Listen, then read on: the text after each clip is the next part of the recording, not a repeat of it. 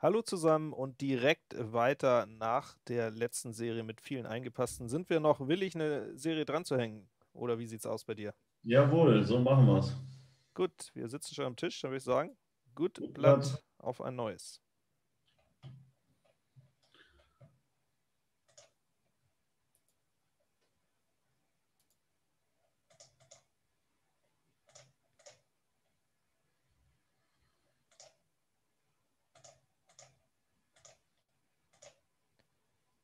Der sieht ja erstmal ganz gut aus. Mhm. So, da drüben ist mit Trumpf nicht los, äh, nicht viel los zumindest. Ja, wäre natürlich interessanter, ähm, wenn die den Herzlusche da nicht wäre oder du das noch nicht sehen könntest. Ähm, aber in Karo fallen ja auch nur die, die elf Augen, deswegen spielt das auch keine Rolle hier, die sechs vollen. Ach, geht ja gar nicht. Du hast ja sogar noch Pik 10 gedrückt. Da war ja Mhm. Nee, So. ohne Trumpfstich, äh, ohne Trumpfstich sowieso nichts ohne jetzt. Trumpfstich ging es nicht. So, ich reize zu viel. Mal gucken. Ja, das wollen wir doch hoffen. Normalerweise ist das doch gerade mein, meine Schwäche. Wenn du mir doch ein bisschen, Ah. entgegenkommst, dann bin ich doch froh und dankbar. So, Herz ist Trumpf. Ja, ich glaube, diesmal weiß ich zumindest, was ich aufspielen möchte. Aha, und da zeigt es sich wieder, ist gar nicht immer so richtig perfekt. Was haben wir? Wir haben sechs Trumpf, wir haben Drilling Pik und Drilling Karo. Nee, haben wir nicht. Ich erzähle Quatsch. Kreuz König, Karo Ass, Lusche und diesen Drilling in Pik. In der Konstellation, wo du wahrscheinlich die drei Piken oben hast. Kreuz König gedrückt, Karo Lusche sehr wahrscheinlich gedrückt. So, ist es jetzt besser? Ist es jetzt besser, darauf zu gehen? Ja oder nein? Die Pik 10 komme ich im Zweifel ohnehin nicht mehr ran. Ich glaube, dann kann ich da auch mal raufgehen.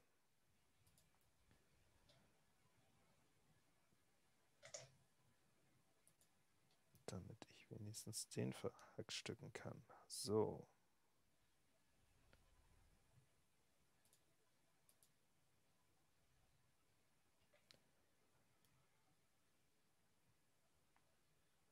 Mhm.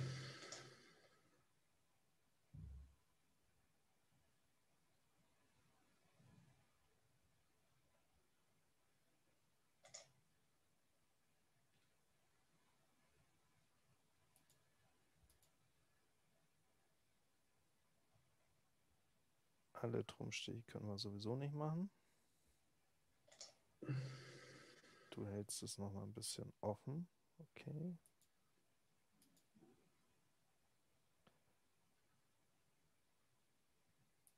Gut, Kreuz 10 ist eine sehr wahrscheinlich tote Karte. Ja, aber jetzt mal ganz kurz langsam, bevor ich jetzt wieder Blödsinn mache.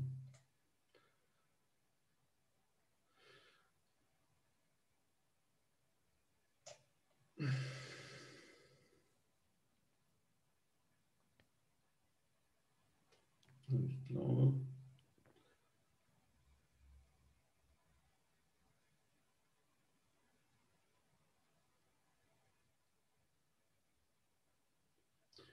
elf und sieben sind 18 und 14 sind 32, ne?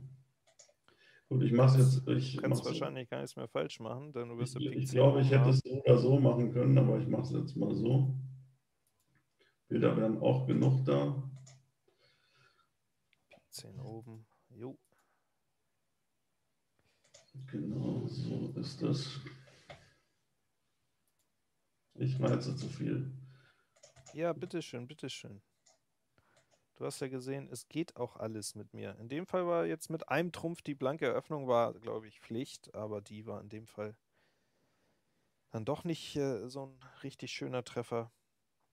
Ich glaube, wenn ich den anders eröffne mit Karo, dann habe ich vielleicht eine Chance, das kann ich. Ich glaube es auch, ja. Werde ich nochmal überprüfen. So, was haben wir hier? Ach, sogar noch ein Kreuz. Nee, ich erzähle auch schon wieder Quatsch. Ein gutes Spiel. Trumpf steht. Trumpf kriegen wir auch nicht getrennt.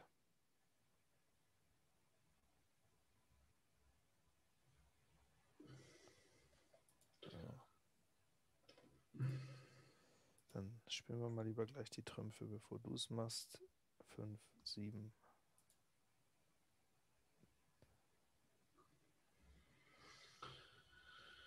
Ja. Ja, schneiderfrei, mein lieber. Schneiderfrei, da ist, glaube ich, nichts, alles unwichtig, genau. nichts groß dran in dem Spiel. Ja, ja, zu dürr, zu dürr, aber nur ein bisschen zu dürr.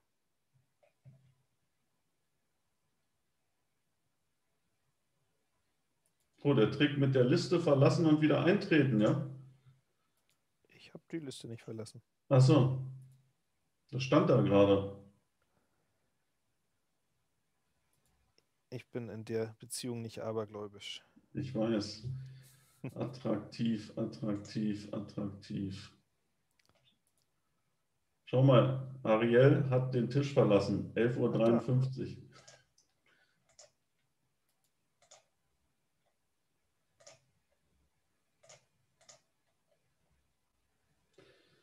Ja, da waren sie wieder.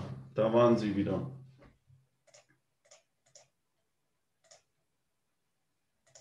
Da waren sie wieder meine Probleme. Geschlossen. Das ist erstmal ein gutes Zeichen. Muss ich zwar gleich ein bisschen mehr kalkulieren, aber dafür gibt es vielleicht auch bessere Chancen. Ne? Der lacht mich an, der lacht mich an. Der lacht mich an. Nimm den dritten. Den dritten? Das wäre der. Ich, ich verkneife mir mal meine, meine Aussage, wie viel Prozent dieses Spiel meiner Meinung nach hat. Das war letztes Mal auch schon komisch. 78 wieder. Na, diesmal verkneifst du es dir. Gut, den dritten hast du gesagt. Dann gucken wir mal. Eieiei, der hat. Der ist, der ist mir fast am liebsten übrigens. Ah, jetzt wäre es doch wieder der erste gewesen, du. Ist das ein schöner Siebentrümpfer mit dreien und fünfmal Rotz in der Beikarte, ne? Karo 10 Dame, Herz König Lusche. Und wenn der dir am liebsten ist, dann ist natürlich der Kreuz König gedrückt. Das wäre sowieso, das Spiel ist zu stark eigentlich, um den oben zu halten. Kreuz König, Karo 10 wahrscheinlich. Oder Kreuz König, Herz König kann man da auch drücken. Ja.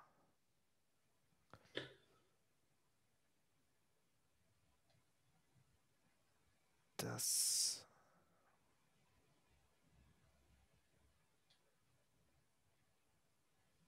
Nur mal angenommen, du hast.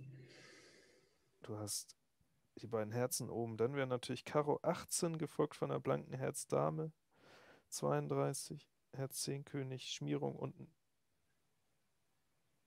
Und dann kriege ich trotz alledem auch nur 0 Augenüberstich. Also es hätte, glaube ich, nie gereicht. Gut. Das schon mal dazu.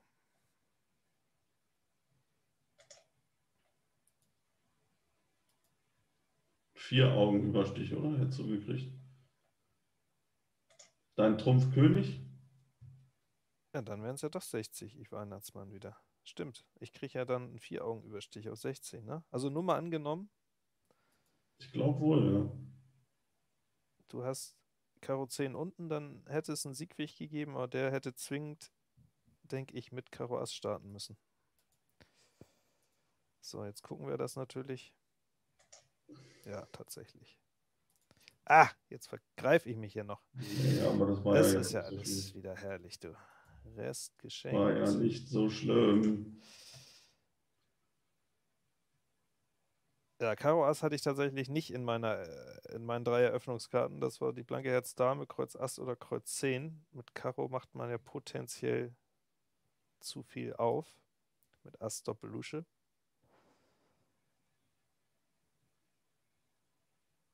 So, ich bin jetzt mal ganz verrückt.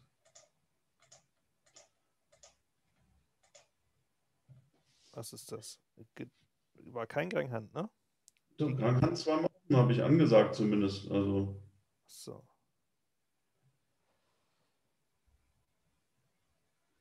Tja, du hast ja entweder liegen, hast du so viel volle oder es liegen so viele. So.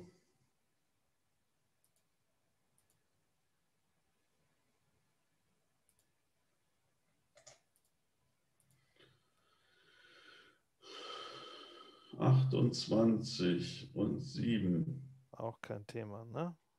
Auch kein Thema, ne. Karo Ass ist noch im Stock.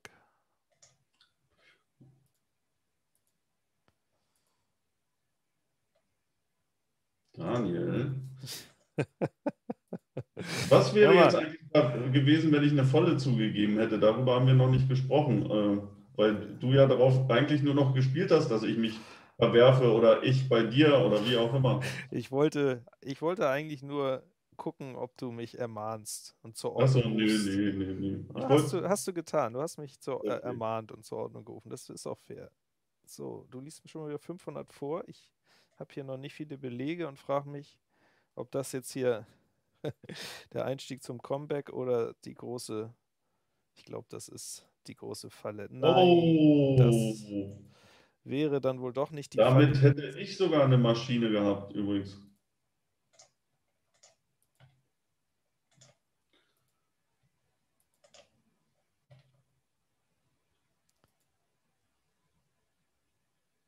Ja, Mein Kumpel, die Durststrecke, hat sich wieder zu mir gesellt. okay. Aber da sie mir sehr vertraut ist und sehr gut bekannt ist, grüße ich sie auch freundlich. Aber es wäre auch besser, wenn dein Kumpel die Durststrecke nächstes Jahr im Rocket-Finale nicht bei dir ist, als jetzt vielleicht in so einer kleinen En-deux-Partie. So, das ist ja hier auch wieder interessant. Da weiß ich ja schon wieder gar nicht, was ich jetzt alles drücken soll. Eieieiei. Hm.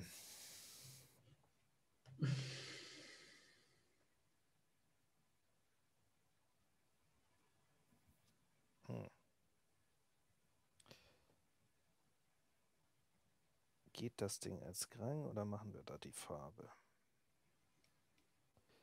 Wie balancieren wir hier unser Risiko? Das ist doch die große Frage. Ich glaube, ich habe ja gar nicht so besonders viele Optionen. Ich bin auf jeden Fall schon gespannt. Sehr viel wird vermutlich vom, Kartenstand abhängen. vom ne? Kartenstand abhängen und zwar insbesondere hier. So, machen wir da jetzt irgendwie so ein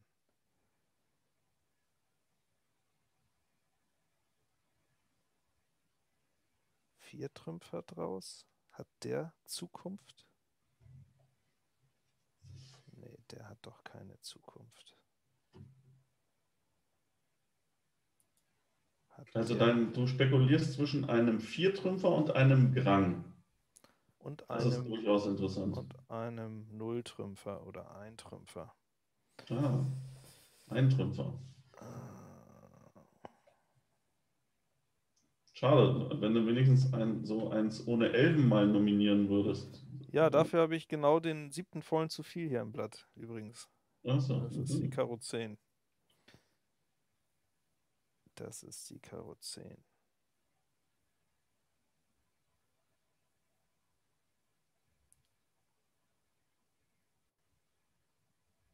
Ach so, du hast Ass 10, Ass 10, Ass 10 und Karo 10. Ja, ja, ja. Interessant. So sieht's aus. Das wirst du gleich sowieso sehen. Damit verrate ich gar nicht zu viel. Ich glaube, ich muss mich hier einfach entscheiden. Und ich entscheide mich ja. Wie entscheide ich mich? Ich schwanke jetzt wirklich noch zwischen dem Farbspiel und dem Karo. Den Grang machen wir, glaube ich, nicht. Das ist zu ähm, ein zu schlechtes Chance-Risiken-Verhältnis. Dann statt dem Grang würde ich eher den Karo spielen. Aber vielleicht spiele ich auch ein anderes Farbspiel. Ich glaube, wir machen mal dieses Farbspiel. Ich glaube, du hast jedes Spiel gewonnen. Ah, sag mir doch, dass Pik 2-2 steht. Ja, natürlich hätte ich jedes Spiel gewonnen.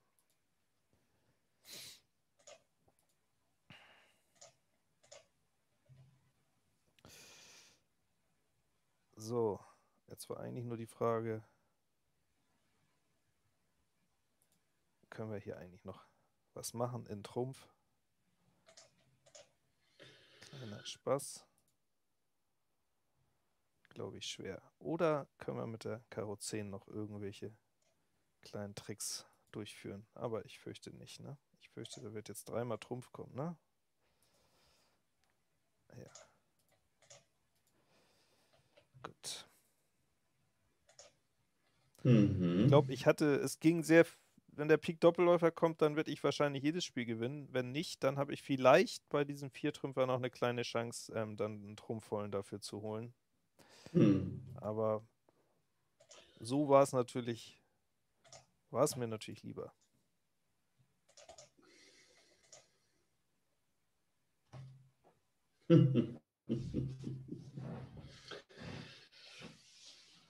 ah.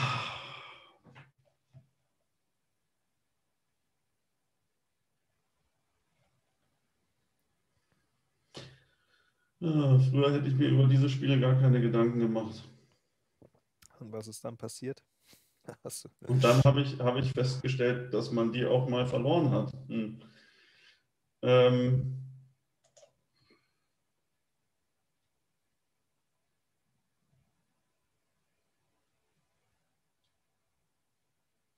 Wahnsinn, Wahnsinn, Wahnsinn. So.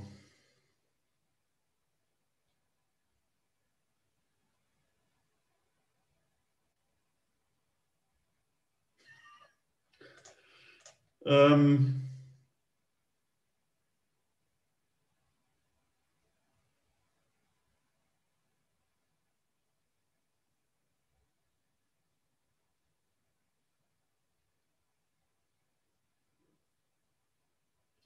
was ist dann passiert? Ja.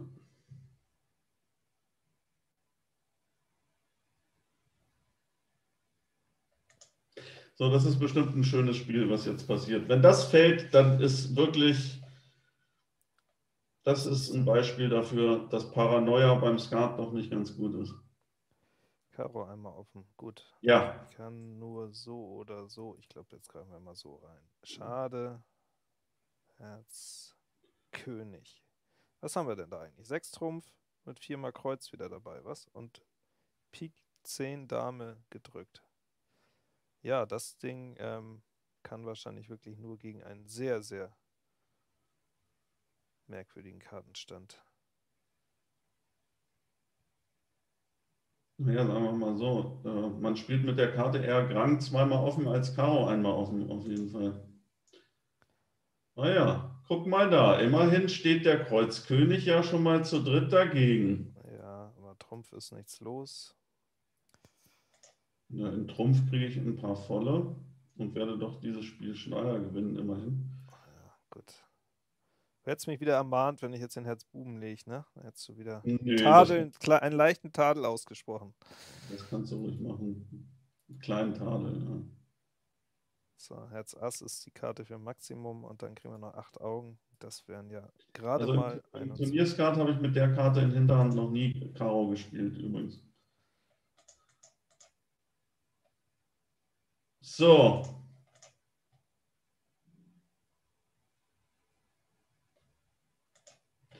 Ja.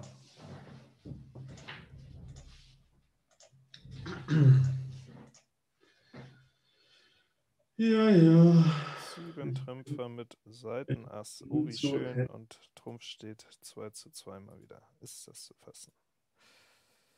Gedrückt, Kreuz, Dame und Pik König oder ja. Wupp. Wupp.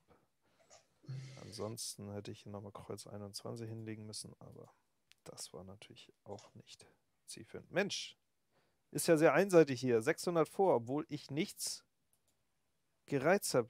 Vielleicht gerade deswegen, ne? Nichts bekommen habe. So, und jetzt. Jetzt gibt es noch Hü oder Hot. Wunderbar. Wunderbar klingt nicht überzeugend. Wunderbar. Keine wirkliche Verstärkung. Aber ich kenne ich kenn dich noch nicht so richtig. Wunderbar. Was wunderbar ganz genau bedeutet. Ja, die, äh, mit einer besseren Findung wäre ich jetzt vielleicht schon sehr optimistisch. Mit diesem eher Minimumfindung ist natürlich auch wieder alles vorstellbar.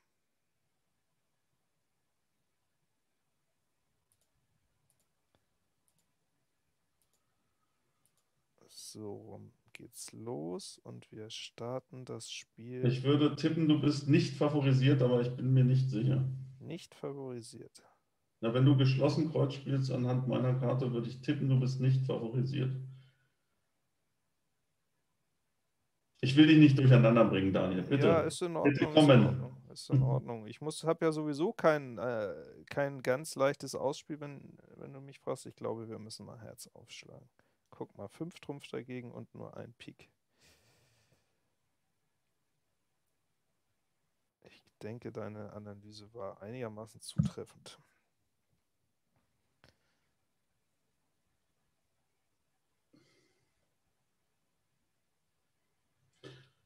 Ja, ich lasse dir trotzdem Herz, Dame. Ja, was heißt denn trotzdem? Wenn du es mitnimmst, kannst du Pik Lusche schon auf dem Rückschub loswerden. Dafür kriegst du Karo 10 nicht mehr nach Hause, ne? Genau, genau, genau. Das wäre ja auch, wäre ja auch dusselig. Das wäre auch dusselig. blank. Ah, da ist ja, glaube ich, gar nicht. Da ist, glaube ich, nicht viel Musik in diesem Spiel.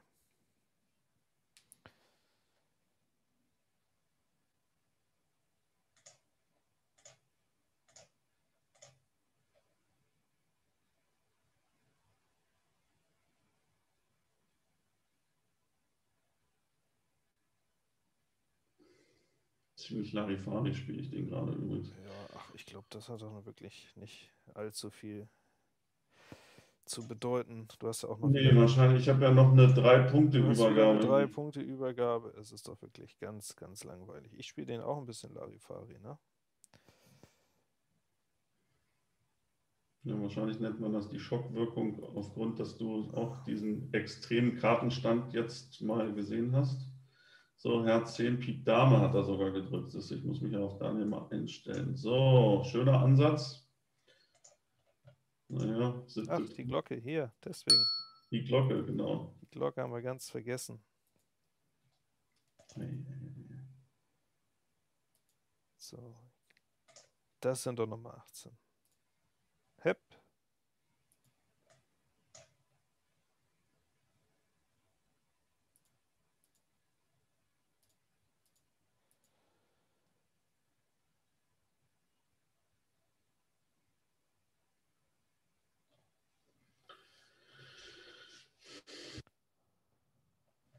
Wie viel gute lang im Skat?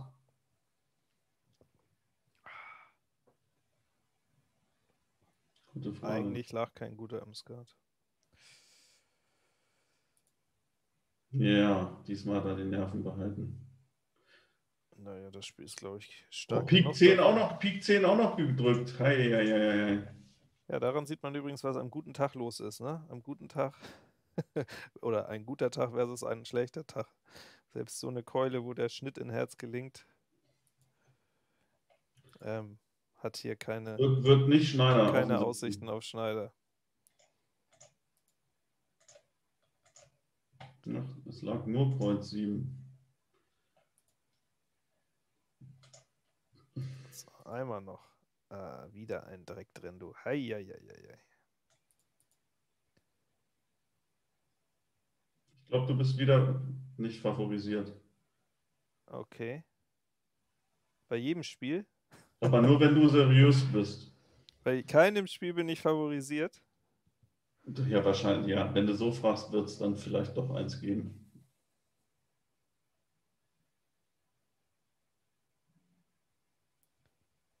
Kann ja aus diesen dankbaren Hinweisen schon was für die Drückung ableiten. Ne? Sehr gut, sehr gut. Ja, bei dem, bei dem Zwischenstand in der Liste und in Anbetracht des Spiels 24 sind Tipps geben erlaubt oder Informationen, nicht Tipps. Okay, Informationen. Es gibt Informationen.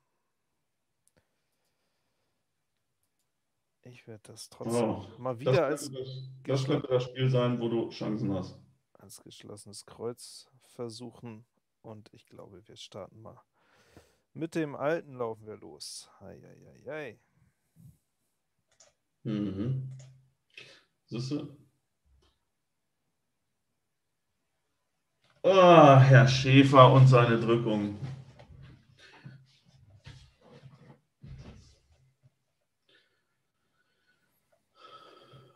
Hm. Das drückt man bei dem Spiel.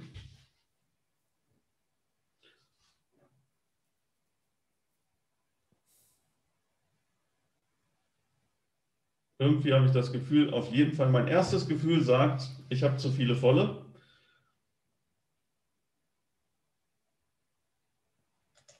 Aber Daniel hat nicht schnell nachgespielt, was mir wirklich ein bisschen Angst macht, muss ich ganz ehrlich sagen. So, wie, hat, wie kann Daniel sich denn jetzt bei dem Spiel so viele Optionen? Karo Ass 10 zu 4, Pik 10 zu dritt mit Dame 8. Und davon muss man zwei Karten drücken. Hm. In Vorhand, logisch klingt ja erstmal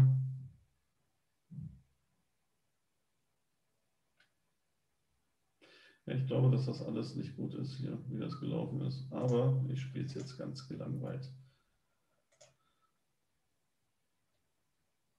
Logisch ist eigentlich, dass du ganz normal gedrückt haben musst. So, haben wir auch. Jetzt, jetzt geht es ins Büro. 13 gedrückt. Ja, ich glaube, ich stehe doch tatsächlich auf Sieg, ne? Herz Ass 10 noch drüben. 13 gedrückt. 13 gedrückt und was war auf dem ersten eigentlich los? Das habe ich schon 5, wieder vergessen. 18, oh. ich stehe auf 18. Also hast du fünf Augen gekriegt auf Trumpf.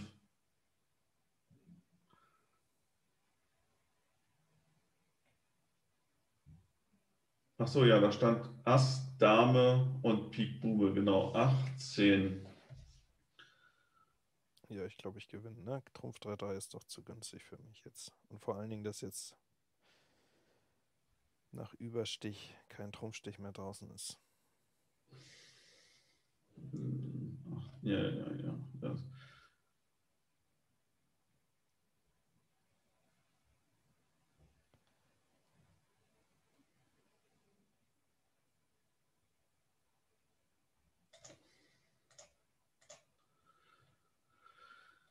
So, 18. Schnipp, schnapp. Ich hatte die Hoffnung, dass du vergessen hast, dass Herz Grube hoch ist. Aber ja. Ich denke das hätte funktioniert. Schnipp, schnapp. 66. So. Na, der, Grang, der Grang hatte auch Optionen. Ja. Der Grang wäre mit 20 runter. Naja, vier volle mache ich dann schon mal Bauern kommen. Karo König zu dritt. Bauern kommen, ja, ja. Wahrscheinlich würde, Wahrscheinlich hätte ich den auch gewonnen über einen Herzvollen, ne? Ich hatte zu viele volle, ja. Äh, gut, das war trotzdem eine schöne Klatsche hier. 600 Punkte rund. Ähm, Führungswechsel. Dass diese, aber dass diese Theorie immer wieder wirklich, also gut, die erste Liste hast du gestartet und du gewonnen. Ob ich die jetzt perfekt gespielt habe, mag mal dahingestellt sein. Ähm, aber jetzt habe ich wieder gestartet und äh, ich habe die Pakete bekommen. Sehr interessant. Naja. Wir behalten das im Auge. Wir behalten das im Auge. Alles klar, Daniel. Man sieht sich beim Skat. Bis dann. Bis dann. Tschüss.